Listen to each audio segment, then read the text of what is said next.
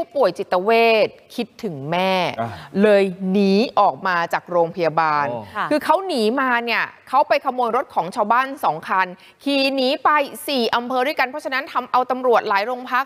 ว้าวุ่นเลยนะคะคุณผู้ชม ตามจับกันให้วุ่นเนี่ยค่ะ ชุดเนี่ยสังเกตดูชุดยังเป็นผู้ป่วยอะยังเป็นชุดผู้ป่วยของโรงพยาบาลอยู่เลยวิ่งออกมา นี่เป็นนายอุทิศผู้ป่วยจิตเวชอยู่ในชุดคนไข้หนีออกมาจากโรงพยาบาลบ้านหมี่จังหวัดลบบุรี ช่วงเกือบเกือบๆบ่ายโมงของ 17 กันยายนที่ผ่านมา วิ่งออกมาอะก็ข้ามสี่แยกมา และเข้าไปในซอยฝั่งตรงข้าม วิ่งบ้างเดินบ้างสลับกันไปกันมา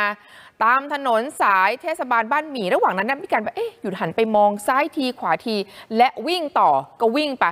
แล้วไปเจอรถจักรยานยนต์ของชาวบ้าน ซึ่งชาวบ้านน่ะเขาเสียบกุญแจทิ้งเอาไว้อ่าก็ว่าอยู่ว่าจะได้ทำยังไง จังหวะเลยก็เลยทิ้งรถของชาวบ้านขี่หนีอันนี้คันแรกก่อนนะ อ่า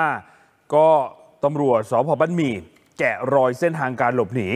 ก็เห็นว่านายอุทิศเนี่ยขี่รถผ่านถนนบ้านหมี่โคกสำโรงมุ่งหน้าอำเภอหนองม่วง น่าจะไปหาแม่ เพราะแม่อยู่ตำบลโคกแสมสารอำเภอโคกเจริญนู่นก็เลยตามไปคุมตัว